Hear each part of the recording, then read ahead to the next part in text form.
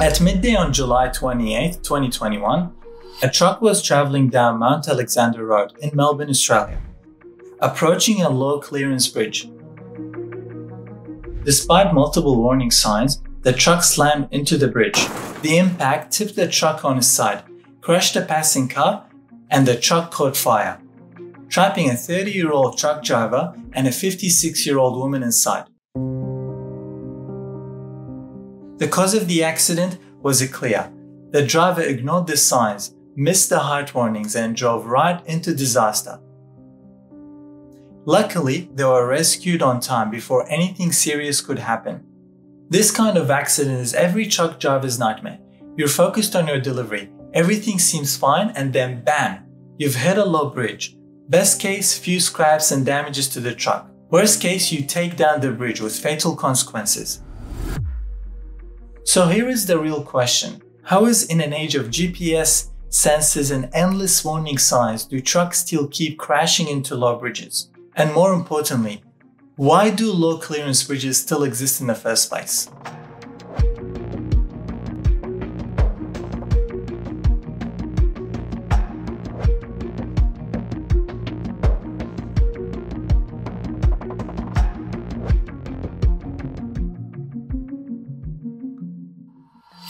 Okay, let's get something clear. We didn't build bridges to be low. They just became low. Let me explain. Back in the 1920s, the average truck height was around 2 meters. Today, modern semi-trucks can reach over 4 meters. That's double the height in just 100 years. This increase in height was mainly because of the need to move more cargo, and taller trucks can carry more. Also, truck design got smarter. We have lower decks, better suspensions and greater stability. But here is the side effect. As the trucks got taller and heavier, the stress on roads and bridges increased. According to the Federal Highway Administration, collisions including truck and ship strikes are the third leading cause of bridge failure, which we have seen a lot of these accidents recently. I could make an entire video on just these 5 causes since they account for nearly 70% of all bridge failures worldwide with bridge collisions and overloading are the results of having heavy and tall trucks on the road. So while we enjoy same-day Amazon delivery, our infrastructure is buckling under the pressure, and those low clearance bridges they were never meant for this. Most were built over a century ago, during a time where cities were designed around horses and early cars, not 40-ton trucks and double-deck trailers. So if trucks have changed, why haven't the bridges? Raising a bridge isn't just an engineering problem, it's a city planning nightmare. Cities grew around these bridges. Utility lines run underneath them. Roads and intersections are designed around them. Local businesses depend on access that runs below or beside them. So tearing down or raising a bridge isn't just expensive, it's risk disrupting entire communities.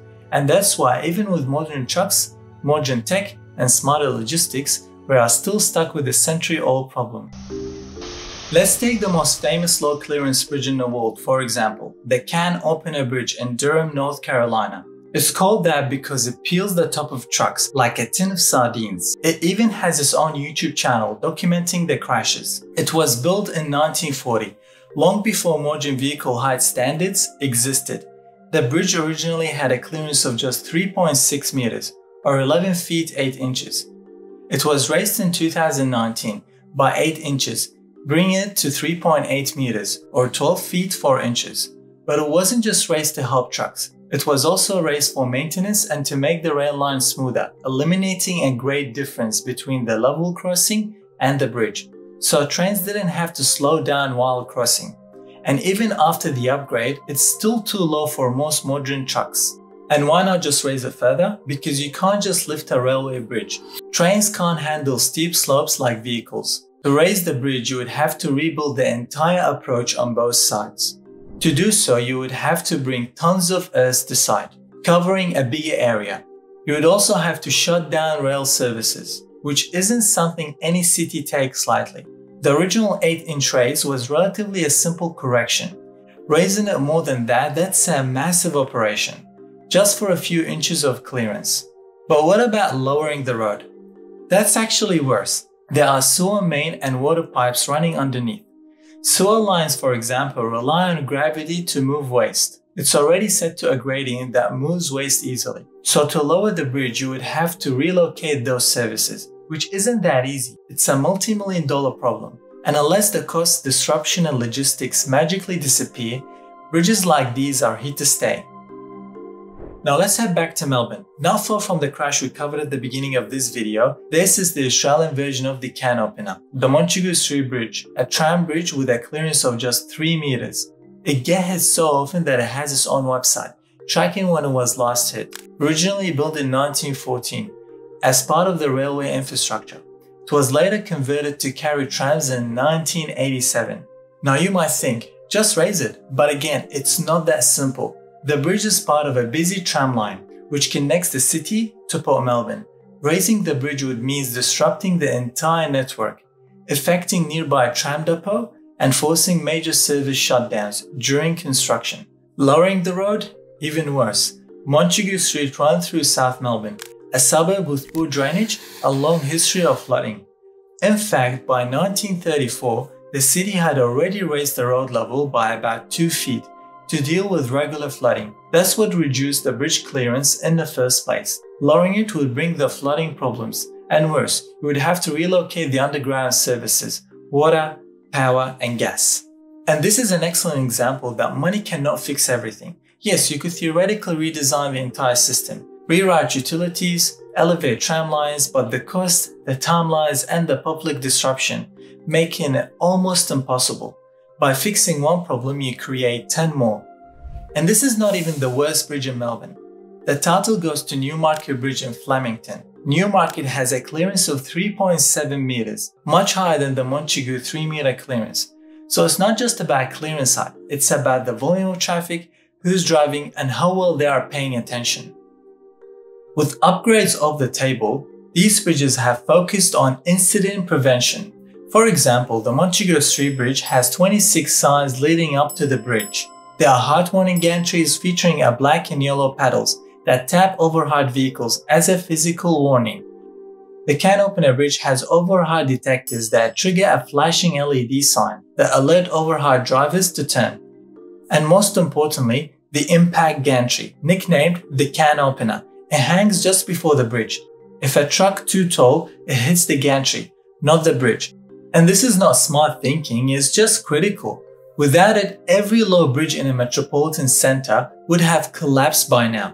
But even with that, trucks can scrape off protective paint and protective coating on steel bridges, leading to corrosion. On concrete bridges, it can expose the steel reinforcement and pre-stressing cables, which is a structural integrity risk. In fact, 81% of damage to pre-stressed concrete bridges and 95% of damage to steel bridges in the US is caused by overhead vehicles.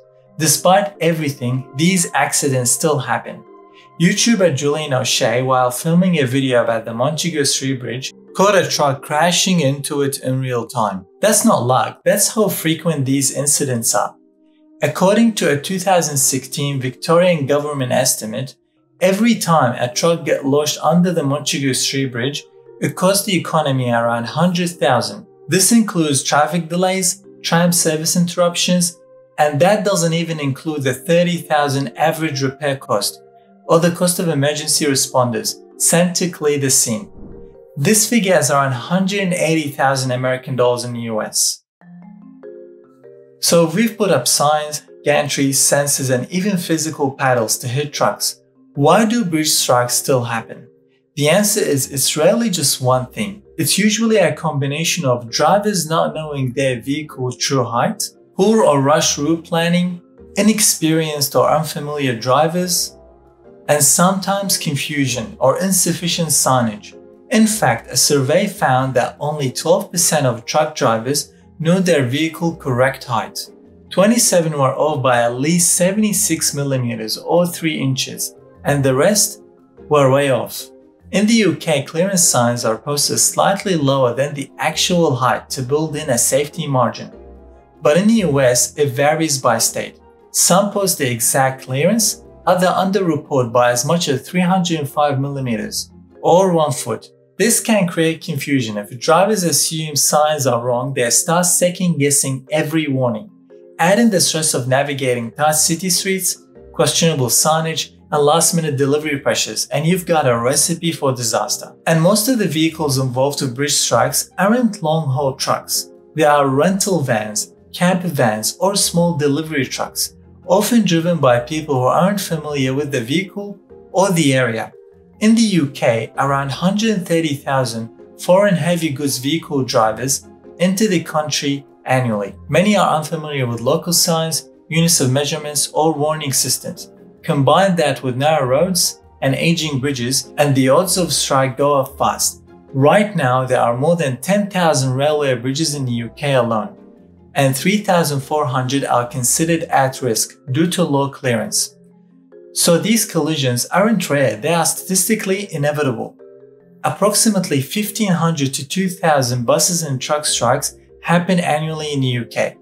That number is around 15,000 in the US, and it doesn't always come down to inattention. Drivers have not noted down their vehicle height before driving, sometimes it's bad planning, even when everything is technically in order. Take the Skagit River Bridge collapse in Washington in 2013. A truck carrying an oversized load had a pilot driver and a valid permit.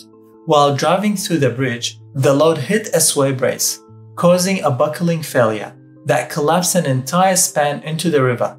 Two vehicles fell in, three people were injured. The cause, not the bridge, not the load, but a human error, a failure to plan route properly, and poor communication from the pilot driver.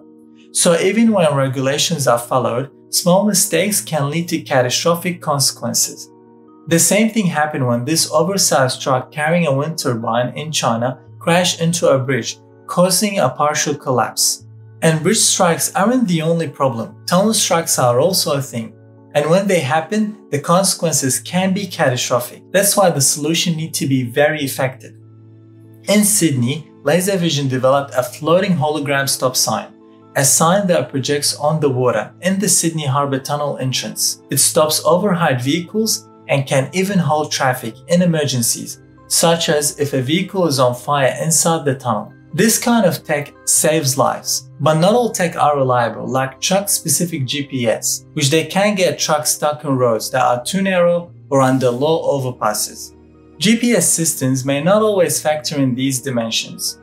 Therefore, truck drivers often use it in conjunction with other methods, like route planning software and their own experience and knowledge of local roads. So can we get rid of all low bridges? Probably not. At the heart of it all, human error. No bad intention, just tiredness, inexperience, distraction, or simply not noticing a sign in time. And in the worst cases, that one mistake is enough to bring a bridge down. Which is why many bridge owners add CCTV cameras near their low clearance bridges, not just to track incidents in real time, but to hold drivers accountable. So this problem is probably not going away anytime soon, but now you know better. And that is all for this video. Thanks for watching. Like and subscribe if you enjoyed it. There are two more videos for you to watch and I'll see you in the next one. Bye for now.